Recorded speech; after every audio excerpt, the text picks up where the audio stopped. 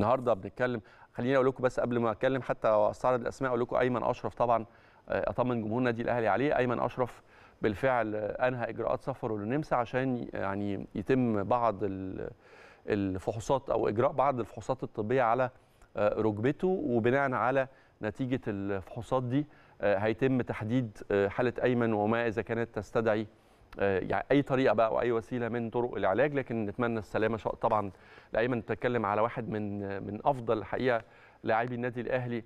يمكن ما شاركش الموسم ده لكن ما تقدرش تنسى له الحقيقة الثلاث مواسم الأخيرة وتحديدا الموسمين اللي نجح فيهم الأهلي في آه، تحقيق بطولة دوري الأبطال وتحقيق اتنين سوبر وتحقيق آه، اتنين برونزية كأس عالم. أيمن كان من الأعمدة الرئيسية لفريق النادي الأهلي في التوقيت ده. اتكلم على لاعب مشواره مع الأهلي وصل ل 215 مباراة حقق 12 بطولة. فطبعا يعني كل التقدير لأيمن أشرف ونتمنى إن شاء الله بإذن الله يرجع كمان أفضل من الأول.